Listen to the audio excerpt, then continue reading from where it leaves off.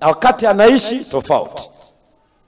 Lakini tukaona katika mambo maswala hayo, anayefanya malezi anatoa maelekezo na analeta nidhamu ama adabu.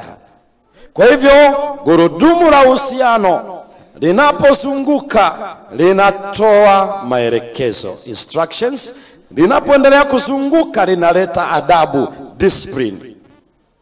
Ili nidhamu iwe na msingi, isiwe na mkanganyiko, isiwe na ukichaa mahusiano.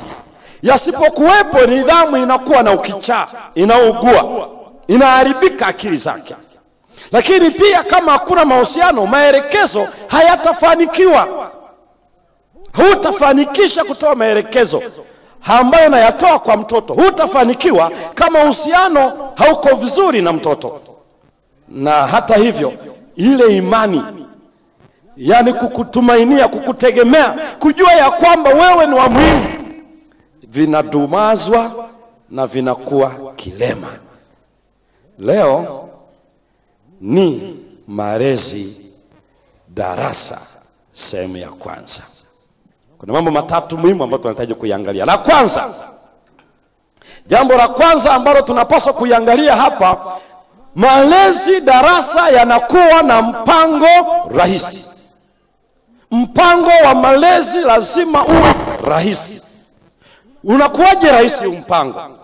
Uwe na ujasiri na mpango huo, kwamba hivi ndivyo ndio mfumo wangu wa kutoa malezi kwa mtoto, na huo uwe na ujasiri. Ili uwe na ujasiri, ufahamu na mtoto aufahamu, ajue ya kwamba hivi ndivyo mpango ulivyo, ajue hivyo na wewe ufahamu hivi ndivyo tunavyoendelea. Kumbuka, anajifunza kwa kuona na anajifunza kwa kusikia. Unavyofanya pale nyumbani, unavyofanya kwa mke wako, unavyofanya kwa mme wako, unavyofanya kwa dada zake, unavyofanya kwa kaka zake, unavyofanya kwa shangazi, unavyofanya kwa kina mjomba, unavyofanya kwa mama wakubwa, unavyofanya kwa baba wadogo, unavyofanya kwa wageni, unavyofanya kwa watu wowote, kila unachofanya anajifunza. Ninao mfano kidogo na, na mtoto wangu wa miaka mitatu na miezi pale nyumbani.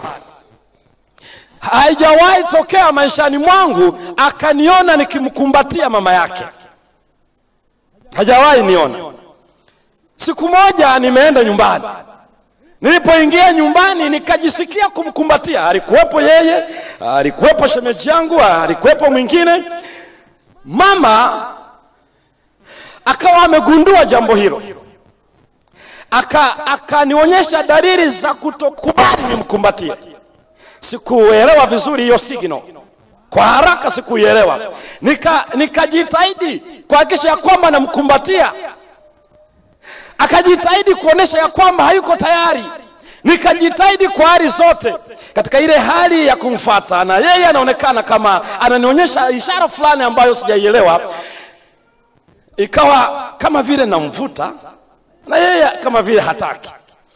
Huyu huyu mtoto wa miaka mitatu alipoona zoezi hilo ni geni kwake na ni jipya, alilia, alilia kabisa, yani alilia machozi, alilia machozi kweli kweli. Nikashindwa kuelewa. Tulipoenda chumbani, mke wangu ananiambia huyu mtoto hajawahi kuniona unanikumbatia mbele ya macho yake. Nilikuwa nakupaia ishara, lakini kugundua nikagundua watoto wanahitaji system inayoeleweka. Kwa hiyo hili hili ninamkumbatia mke wangu, lakini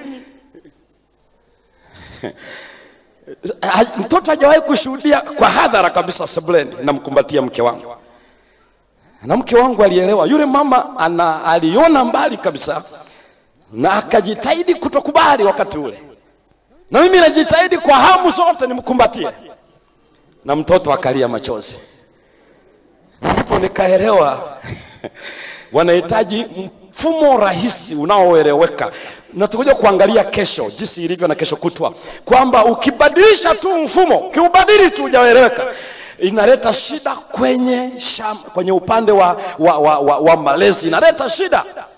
Kwa hiyo nikagundua nina kibarua kingine cha cha kumfanya mtoto ajue huwa anamkumbatia mama yake na hili nifanye hivyo na kazi ya ziada ninaeleza kile ambacho kinaeleweka. Ninakumbuka pia unapokuwa na mazingira hayo, ni vizuri uelewe mpango ulio rahisi, unaoeleweka, ulio nao na ujasiri kuufata. Usiweke mpango wa malezi ambao huwezi kuufata. Mchungaji mwenzangu alitoka ofisini akaenda nyumbani, alikuwa na mtoto wake wa kiume na yuko sebuleni anaunganisha vitu vyake, anacheza, akamsalimia baba, na ni muda wa mchana, wakati wa chakula. Ametoka ofisini akamsalimia.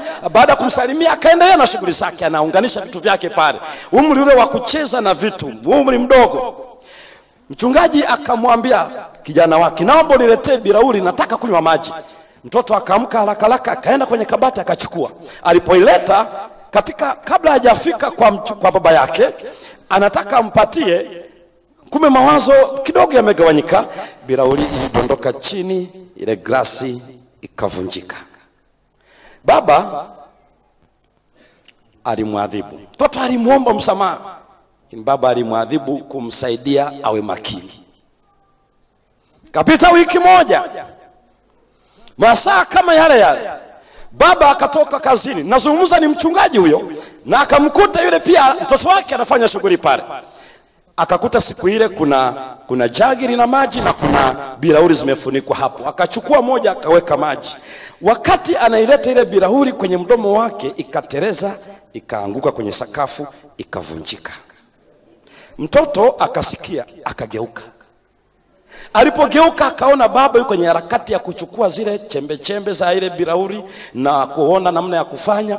Mtoto akaangalia akasema, aha, mama alikuwa jikoni. Mtoto akaenda mbio kwa mama, kamwambia mama, baba amevunja glasi, alafu akarudi sebuleni, akaenda na shughuli zake. Dakika mbili tatu, mama atokei, kaona "Ah, huyu mama mbona hajaelewa. Dakika tano, mtoto akarudi tena jikoni, akamwambia mama, baba amevunja glasi akarudi tena sebureni, mama hajatokea. Akarudi mara ya ngapi? Mara ya tatu. Mama akasema "Mm, huyu mtoto grasi tu kuvunjika, mbona anakuwa na presha hivi? Akaja akatoka jikoni, mchungaji alishafuta maji, alishaondoa na vile kila kitu pale, hakuna ushahidi. Lakini mama hajui kilichoendelea, maana hakuna anaingia akajua kuma mambo yaliharibika. Akaenda akamuita, akaenda chumbani, akamsimulia safari za kijana jikoni na ujumbe wake. Pasta akakumbuka wiki moja iliyopita kitendo kama hiki kilifanyika na alimwadhibu. Sasa ndio mama akajua nini maana ya uchumbe. Maana yake ni kwamba mimi ni mdogo, lakini mama ni mkubwa, anaweza kumshughulikia.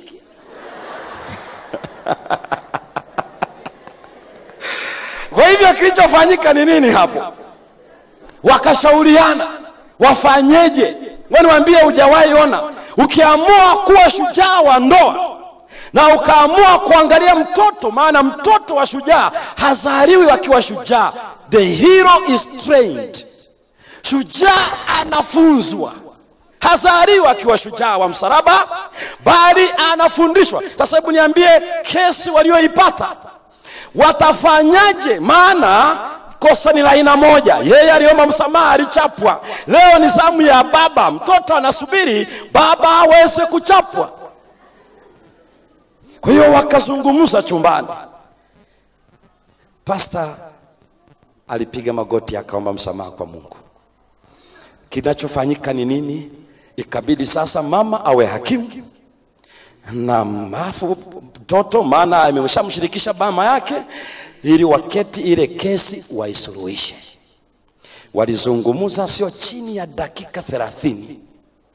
Mtoto, baba anaomba msamaha, mtoto anasema ni kweli, nimekusamehe, lakini uchapwe.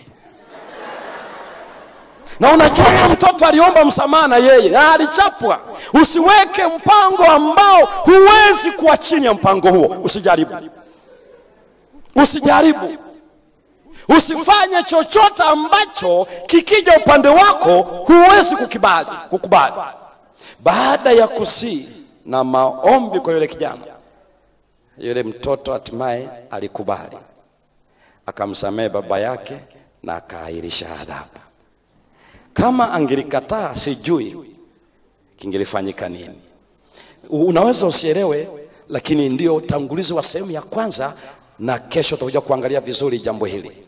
Hivyo ndivyo inafanyika katika maisha haya, ndivyo inavyotokea katika maisha haya. Weka mpango rahisi ambao wewe unaufahamu, una ujasiri nao, you are confident of it, una ujasiri na mtoto aufahamu na aone huu mpango unalipa, mzazi aone unalipa, mtoto aone unalipa. Mpango rahisi, mbingu zimeweka mpango na ni rahisi kweli kweli. Aminie na kubatizwa atafanyaje nini? Ataokolewa katika Marko 16:16 16. Aminie na kubatizwa ataokoka, na ameuweka kuwa rahisi unaoweza kufahamika kwa wakazi wa dunia, na mbingu zinaufahamu. Mungu anataka mpango wake ueleweke, na kila mzazi ahakikishe mpango wa malezi huu, mpango wa malezi unaeleweka vizuri kwake na kwa watoto. Jambo la pili, jambo la pili huo mpango uwe una ruhusa ya kufanya uchaguzi kwa mtoto, una ruhusa, una kitu kinaitwa ruksa kwa mtoto kufanya uchaguzi. Ikiwa unafundisha mtoto na huyo mtoto hana nafasi ya kufanya uchaguzi, umeharibu kila kitu. Tatoa mfano katika Biblia.